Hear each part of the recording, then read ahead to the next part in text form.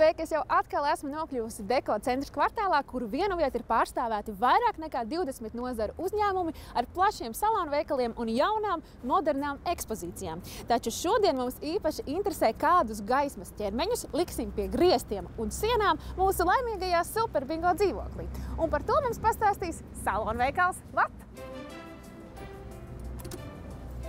Labdien! Labdien! Šķiet, ka, ja runā par lampām un lustrām, tad tā nu gan ir tā joma, kur pavisam droši drīkst vaicāt, kas šobrīd ir modē. Jā, jūs pareizi sakāt, lampām un gaismakļiem tiešām ir sava mode, un viņa beidzamajā laikā ir ļoti stipri mainījusies. Jā, un droši vien klasiskas lustras vairs tik bieži nesastapsim, jo tām, protams, nepieciešams atbilstošs interjers. Uh, Jā, es tam varētu piekrist, bet tās pašas klasiskās lustras šobrīd ir ļoti labi integrējamas jebkurā interjerā. Tādēļ, ka ar modernā tehnoloģiju palīdzību mēs viņas panākam jau mūsdienīgas. Bet atbildot par to, kas šobrīd ir modē, varu droši teikt, ka tās ir LED apgaismojuma lampas, par cik viņas ir viegli kopjamas un viņas arī dod pietiekamu apgaismojumu tad sanāk, ka tieši šādas LED lampas būs mūsu jaunajā dzīvoklī? Jā, tieši šī lampa būs arī mūsu jaunajā dzīvoklī viesistabā virs televizora. Tā ir uh, dos pietiekamu šo te apgaismojumu līmeni un arī būs uh, paaugstinās vizuāli griestus. Kādi toņi dominēs izvēlētajā apgaismojumā?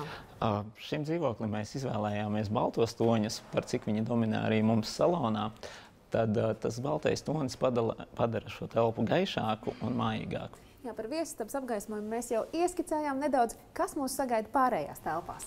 Virtuvē un priekšnamā mēs izvēlējāmies šāda tipa gaismekļus tikai baltā krāsā. Viņi ir stiprināmi uz griestiem, un par cik viņi ir grozāmi, tad ir iespējams izgaismot dažādas šīs te vietas. Un kas paredzēts guļamistabai? Uh, guļamistabai mēs izvēlējāmies griestu lampu, kas ir ģeometriskas formas. Viņa ir nedaudz līdzīga šai, bet uh, nedaudz atšķirās. Tāpat mēs pieskaņojām divas sienas lampas, lai jaunajiem dzīvokļu īpašniekiem būtu ērti lasīt. Jā, bet kas savukārt ir paredzēts istabai, par kuru mēs vēl nezinām, vai tā kļūs par viesistabu, kabinetu vai, piemēram, bērnu istabu?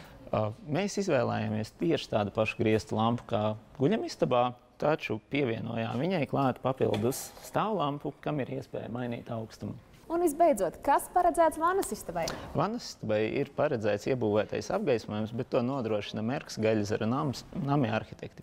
Tad sanāk, ar visiem šiem apgaismojumiem mūsu dzīvoklis rezultātā būs gaišs un mājīgs? Tieši tā, to mēs arī apsolam. Bet, ja jaunais dzīvoklis saimnieks vēlēsies kaut ko papildus apgaismot, vai pamainīt, tad viņš to droši varēs darīt pēc savas gaumas un iespējām. Lieliski! Paldies jums! Un cik zinu, tad arī jūsu meistari jau tuvākajās dienās dosies uz Gaļazara iela 7, konkrēti dzīvokli numur 29, lai arī šos apgaismas ķermeņus uzstādītu. Tieši tā. Taču mēs nākamreiz tiekamies tieši tur un kopā jau ar Armandu, lai arī lūkotos, kā tas viss izskatīsies uz vietas. Uz tikšanās! Thank you.